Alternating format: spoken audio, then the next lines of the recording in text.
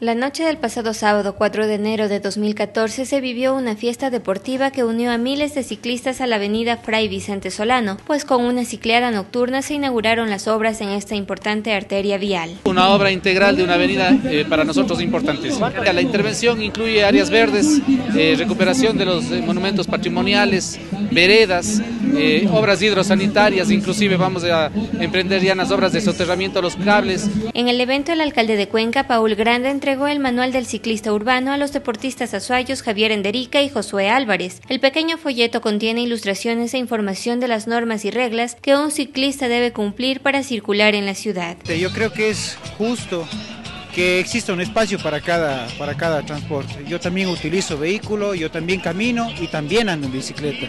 Pienso que en la ciudad se puede convertir poco a poco en una de las mejores ciudades, en una de las ciudades ciclísticas del país que va a ser un ejemplo para el resto del país.